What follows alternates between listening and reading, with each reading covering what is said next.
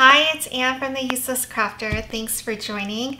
If you haven't subscribed, please do, um, and I would greatly appreciate it. But, you know, we are trying to get on a regular schedule, but until then, the notifications and all that good stuff that comes with subscribing would be amazing. all right, so this is a special request coming from one of you guys. I totally get it. Like, you guys follow along on the tutorials, things make sense. I know what I'm doing, so it just seems like, okay, yeah, that's easy. But then when you go to do your own project, you run into some issues. So I am here for that. Just let me know, uh, reach out to me. A lot of times we can resolve these issues through uh, direct messaging or um, email, whatever. Um, but sometimes we still need more help. So in this case, I'm doing a full-on tutorial. So um, yeah, just reach out and let me know if you guys have any comments or questions, help on your project. All right, we are doing a WALL-E. This is a great, cute little file. It looks like um, we can make him pretty big and look seamless, right? Because I'm looking at the yellow, for instance, and like this is one piece. This is another piece, right? So um, this one is kind of a big piece right here, but still overall like really, really cute um, and small with pieces that, you know, will look seamless. Um, let's just get started. All right, so let's make this 30 inches. I'm gonna go to height and just type in 30 and oops, not 230, but 30. If your image is locked, which it usually comes in locked, then you only have to change one dimension. So I changed the height to 30, the width will change accordingly. So it's now 26 and a half inches. Um, some things that I noticed over here, let's look at the right hand side panel to see what we have. Um, it looks like we don't have a solid black.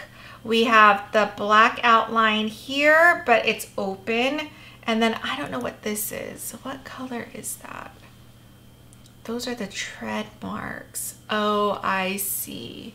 So this tread little thing right here, oh, that's a pain in the butt. Oh, so this one is one big piece right here. That's gonna be a problem. So we're probably going to like slice it right here because it's so teeny tiny right there that we're not going to notice. And then maybe another one down here. But this whole big piece is, that's a big piece. Um, all right. Um, so let's scroll out for a second. And let's work with our black background first. So on this one, you're going to go to contour and we're just gonna hide everything. We're gonna make it a solid black background that everything can sit on top of, okay? So we're gonna click hide all and it's gonna give us a solid black. And you'll see over here, it's gonna change. So you see how it changed to solid black? Um, what's up with the white? Why is the white like that? I don't think it matters. We'll now send this one Let's send this arrange. Oh, it doesn't let me go to arrange either. Weird. Okay, let's just click this and ungroup it. And let's see what we have. Okay, so we've got our solid black background. We know that. Okay. Um, here are our gray pieces. And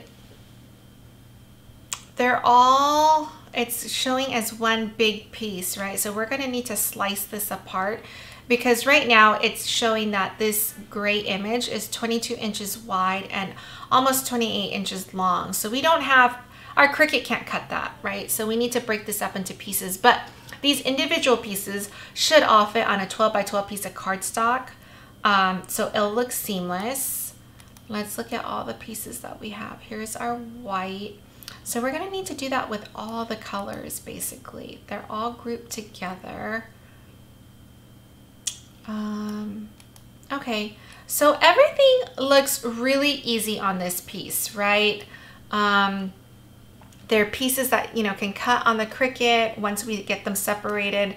So let's get started on that. I'm gonna move this little black guy all the way down here out of the way for a minute. And let's start with something easy. Let's start with the blue. I think the blue are just the glasses. Now, or his eyes. So the blue is super easy. Let's just grab a square and we'll just talk about slicing while we're waiting. When you slice something, you can only slice two items at a time. So in this case, we're gonna be slicing our square and the blue. So um, the square or whatever shape you end up using, you wanna make sure that it covers the one piece that we're gonna separate from the other piece completely, right? So you wanna make sure that this um, circle is completely in the square. What you don't want is something like this, where the square covers a little bit of both items because you're gonna have a slice and it's gonna cut this one up. So let's move this one over and you're gonna see I'm gonna use my, we're in a lot of traffic right here, right? There's like a bunch of stuff, but my mouse is only going to touch the square and the blue. And I, oops, it didn't because I know it grabbed too much because it didn't let me slice. Let me do that again so you can see. So this is what I did, right? You see how slicing is grayed out? I picked up more than two items. So I'm gonna try it again. There, you see how I went just a little bit? It grabbed my square and the blue and I'm gonna slice. So it's whatever your mouse picks up, okay? And once it slices, then we don't need this, but I'm gonna move it aside because I'm gonna use the same square in a minute. Okay, so this we don't need, the slice results. But now look at our glasses or our eyes, whatever this is. This is now its own separate piece and this is its own separate piece. You want to do that because if you remember the eyes are were, were kind of like this far apart. That means for your paper, like it, for this, you could probably use scrap paper and you can get it really close to each other and then now this would only take up, oh shit, I did it again.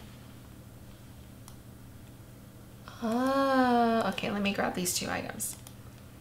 You know, now instead of needing, I don't know what it was before, nine inches, it needs like 6.3 by 3.3. So you wanna do that so that you don't waste paper. All right, so here's our blue. Let's look at our, our white. Our white looks pretty easy. It's the two dots of the eyes and the four pieces down here. So again, I can do this, right? My little dot is in the square all by itself. And you can do this and slice. Now it looks like this is a lot of slicing, so I'm probably not gonna do all the colors because once you get going and you know how to slice things out so that you can, um, you know, cut on your Cricut, we won't do all of it, okay? But see, now my little circle is out by itself. And then let's do these four pieces together down here. So the white is selected, right? I'm hit the shift key and I'm gonna go over here and grab this piece. So I grab the two pieces, I'm gonna slice and depending on how good you wanna be, you could slice these individual squares or rectangles um, or not, right? This might be enough for you because now we can cut it on the Cricut.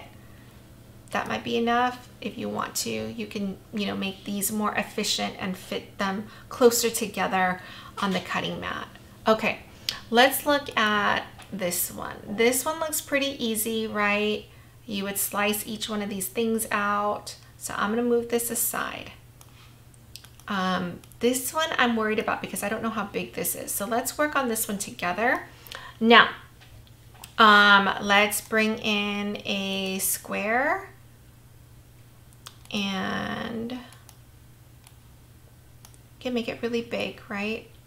All right, so I'm gonna slice out this little squiggly guy. So this is already highlighted. I'm gonna hit my shift key and I'm gonna grab my square and slice. I want to see how big this thing is. Now, so in my head, because it's WALL-E and there's like metal pieces and stuff, I would love to mix mix up the textures um, on this project. Like maybe some metallic cardstock, gray cardstock, um, foil cardstock, all in the same color scheme, right? Um, but also you could maybe even do HTV. So this would look kind of cool if you had that like silver.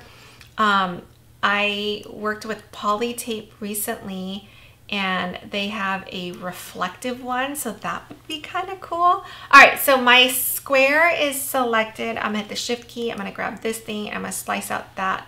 Oh no, wait a minute. What am I doing?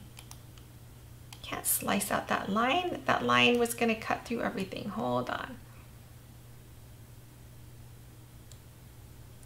There. So my line is completely in here because I don't see it running through my empty space, right? So I'm to grab the two items and I'm to slice. Um, yeah, like reflective HTV would be really cool because um, you can always iron that on. You can iron onto paper. It would take like a few seconds and it would look so good because it's just to give you a different texture and look to it. All right, so this is nine, um, 10 inches by a quarter of an inch. Okay, let's go and get this piece out and see how big this really is. Okay. All right, so I'm gonna grab, this square is already highlighted, so it's active. I'm gonna hit the shift key and I'm gonna grab the treads and slice. And let's see how big this is.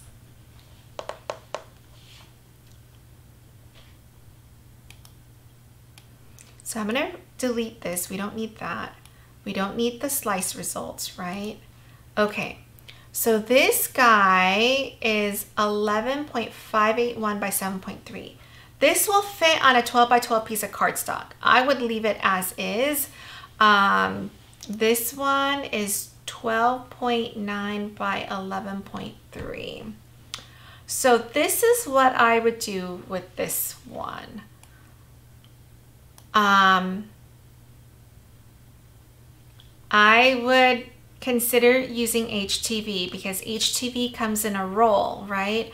So it's 11.382, which is under 11.5, and you can cut up to 23 and a half inches. So this would all be one piece. Um, so that would be my cheat. Now, if you if you didn't do that and you had paper and you only had 12 by 12 paper, this is what I would do with this one. Kind of like what we were talking about earlier. I would slice it like right here where it's super thin and no one would notice the seam and I would slice it again right maybe here where it's kind of thin. Okay, so let's do that. Um, let's bring in, and if you needed to, I would slice again here. So this would be one piece, two piece, two pieces, and then three would be all this together. So let's do that. Let's see if we can do this in just one slice though, okay? So what you would do is you would rotate this piece like right around here, right? That's really thin right there. Let's grab the square and slice and see what we have, what our new dimensions are. So the treads all together would be, okay, 6.4 by 12.1. This you can break up, so this can cut seamlessly, right? Or you could rotate it, maybe like this, and unlock it. Your new dimensions are um, 11.2 by 11.1. So you can cut this on a 12 by 12 piece of cardstock. Let's see what we have over here. So let's delete this. We don't need this. Oh, and this too, you can cut. Um, you'll, you'll need to rotate this a little bit and let's unlock it to see what the new dimensions seven by uh, seven inches by 11 inches so you can you know cut this on a 12 by 12 piece of cardstock you could cut both of these like this maybe um maybe no I don't think so oh unless you put it in like I don't know. We'll see. We'll see later when you go to cut this. But basically, you can cut this. This whole thing will have just two little seams that you're not even going to notice. Okay, So that was the problem area. This you would just slice up, right? Obviously you can't cut 22 inches by 28 inches, but these individual pieces you can cut on your Cricut. So what that leaves us with is just this black background. So for this black background, let's get rid of, well, not get rid of it, but let's clean up this space a little bit. I'm gonna grab all of this and just move it over so we don't have to see it. Oh my God, why won't it let me move it over? Okay, then let me move this down. Okay, so this guy, oh gosh, it's killing me, is 26 inches by 30 inches. So let's go to upload. So this upload you can get on my website, um, theuselesscrafter.com. And the reason why we have it is because it takes it's a process to create those squares and make them all flush together. So I created an SVG file so that every time you do an off the mat you can just easily insert it. So I'm gonna insert give me a second where is it? Sorry I've been doing so many projects lately. Um, here it is. So the, the file comes with um, a 4x4, so basically 16 flush squares and also a 3x3, so nine, nine flush squares. So let's do, let's see, let's do this one, add to canvas. So instead of having to create those each time, it's now just an image that you can insert. And it saves a lot of time. So, all right. So here is our grid of squares, okay? The only thing you need to do is I would first align it. So go to position and align it to whole numbers. So six point something becomes six and 32. Oops, jeez. 32. Okay, then let's go get our image, our black background, and go to arrange, send to the front. I want to see where our seams are going to be, okay? So I also want like kind of big pieces, right? So like maybe something like this, but go and ungroup your squares at this point, okay? Um, this head doesn't need to be in one, two, three pieces, right? Let's get rid of this square let's grab this square and this square and use your arrow key and just scoot it over. There. So now the head's going to be in two pieces. It's going to be split down. Um, could we do that with this one? I don't know. Let's see. We'll grab this one and this one and let's scoot it over and see. It's gonna be close. I don't think it's gonna work. Oops. No it's not gonna work. Um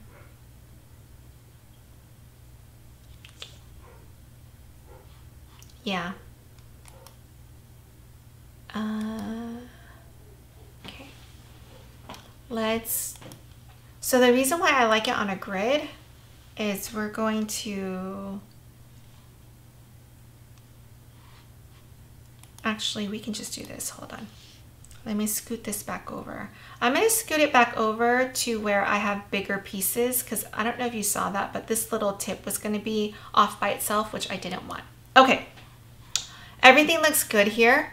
We're going to slice now because this black background is 26 and a half inches by 30 inches. So we can't cut it. We don't have the paper to cut it. The machine can't cut it. So we are now slicing it up into pieces that we can cut. So I'm gonna take one square and the image at one time and slice. And the reason why it's missing this square is by default, we don't have to slice the last square, right? Because everything around it is sliced, so that's gonna be by itself. So we're gonna slice all seven squares that we see and this piece will be sliced by default at the end. So let's do these two pieces here.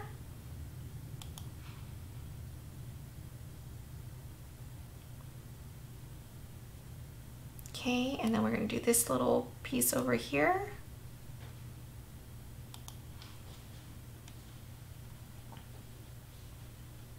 This is going to be a really, really cute character.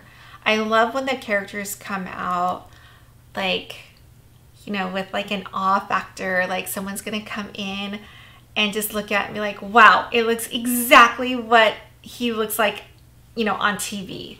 And um, it'll be big, it'll be cute, and it photos so well. All right, so we're just making our way around here. So sorry, I'm just chit-chatting. um, and we're almost there. So you see like with this grid of squares, it makes it so much faster. Okay. All right, so what you want to do is now you I move all my pieces over and I keep them in order. So here's the head. The head is going to be two pieces, right? Uh-oh, what happened here? It didn't slice properly. Hold on. I hate it when it does that. When it doesn't slice properly, undo it. I didn't notice it, so I'm, I didn't undo it. I don't know why this does it. It's not letting me go down further. It keeps moving it. Look, I'm a, oh, you can't see it because my face is there. See how I did that? So weird. Oh, it did work. Okay. So here's, I don't know why that piece is so big. Let's go to contour for a second. Just get rid of this line. So weird. That should not have happened. Okay. And this piece, we can get rid of all of this here. Oops.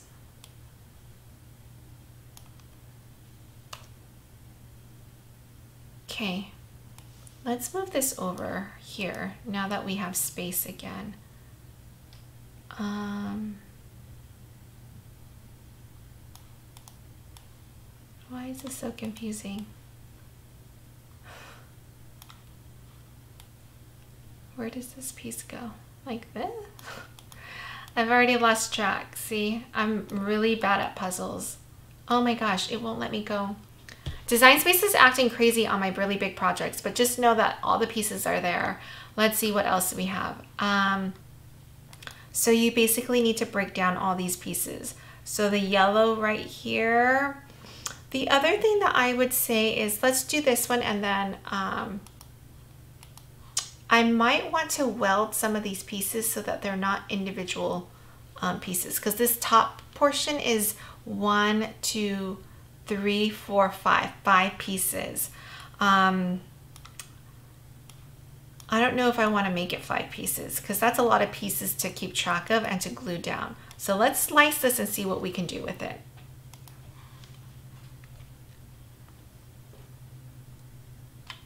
Sorry, I'm going to take a sip.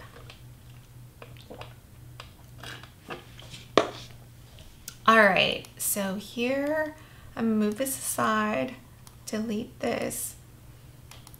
So this is 14.6 inches by 7. So we don't want to make it all one piece because it would be too big. But what we could do is we could turn these two pieces into one, these three pieces into another piece. So the way we're going to do this one, this one's tricky because it's so close to each other, you're not going to be able to um, slice it. We need to contour it. So we're going to use contour to separate, separate out the left side from the right side, okay? So I want two separate pieces, so then I need two copies total. So I'm going to duplicate the glasses or this whatever, okay? And let's go to contour. We're going to contour the first one. So for contouring on this one, we're going to click everything that we don't want. I don't want this. I don't want this. And I don't want this. Oh, let me see. It's so hard to isolate these pieces over here.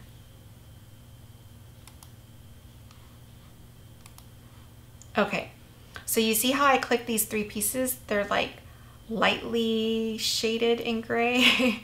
so let's exit out of this. So look at, this is what I have left, okay? So on this one, I'm gonna click contour and get rid of the right hand side. So I don't want this, I don't want this, this, or this, okay? So here, now I'm able to do this, right? I'm gonna zoom in for a second though. And again, I'm not gonna make this five separated pieces. I'm gonna make them into two. So I still like the detail of this cutout, but we can add a, oh shoot, sorry, not images, shapes. Let's bring in a circle.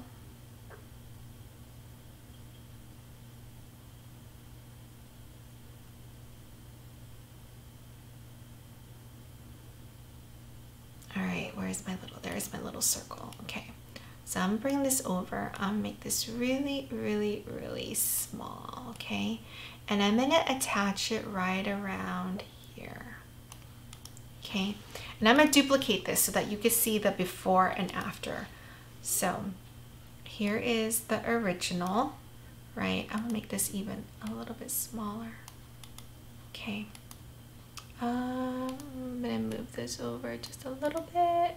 All right, I'm gonna grab this and I'm gonna weld it. So you might not think it's a big deal, but you see, I mean, it that's to me is not noticeable, right? It still has the details of the cutout, but it's attached right here. So here's the after, here is the before. I mean, yes, if I, you know, if I was in school and you have to spot the difference, I would be able to spot the difference, but I don't think that it has an impact on the overall image. But it will have an impact on you when you're trying to keep track of all the pieces and to line it up so that it fits everywhere, right? Now it's two pieces, it will line up together, it will be perfect. We wanna do the same thing on this side. So on this one, I'm going to add another circle I'm going to attach these two pieces and I can still keep the detail, right? And make it like still have that um, super cute thing. I'm gonna make it really small. I'm gonna duplicate my circle because I also need to do it for the, these two pieces. So I'm gonna put this like right there. Maybe scoot it over a little bit. Okay, that's gonna be one piece and this is gonna be up here. Maybe make this even smaller. Okay, so these two, or these three pieces, I'm gonna now weld. So to me, I mean, look at when they're right next to each other like this, you're not gonna know, I don't think, that it shouldn't look like that. Um, but it will be a lot easier for you to deal with later. So instead of five pieces, we're down to two pieces. All right, um, so I would do that. Let's zoom out for a second. I would do that for any other pieces. No, these are all pretty big pieces. Um, I might do it for this gold piece here. I might do like a straight line right here so they're all connected, but you still have the details of the cutouts there. Um, okay, let's separate this. So this is one, two, three, four, five. So I'm calling this five pieces. So we need five copies total. So here's three, four, and five. And let's go to contour. This one's kind of easy. We could hide all and it leaves us this big piece. Okay, so here's our first piece. Oh, perfect. 9.8 by 7.8 and it's gonna be seamless. So we don't even have to worry about that. All right, let's go to this one, contour. Let's see if we can get away. Let's hide all. But I want this one, this one. Oops. I want these three. I don't want this. Let's see how big that piece is.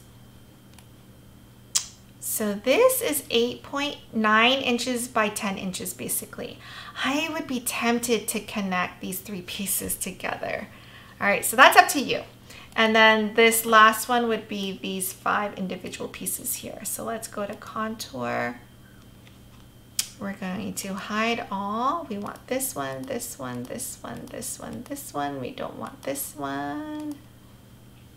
And there you have this. See, these are small pieces. I would, this is what I would do. So let's delete this and this because now these gold pieces are all, um, you're able to cut on the Cricut, right? But this one, what I would do is I would go to shapes, get a square, and let's unlock this square and make it really skinny.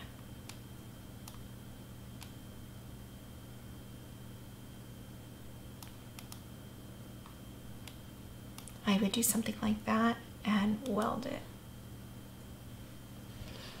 So now instead of five individual rectangles, I have that. I really don't think anyone would notice it, but it would make life so much easier. all right, that's all that there is to this thing. It's super easy, super fun, and it's gonna look amazing. Let me know if you have any comments, questions, or your own special request. I will see you guys next time. Bye.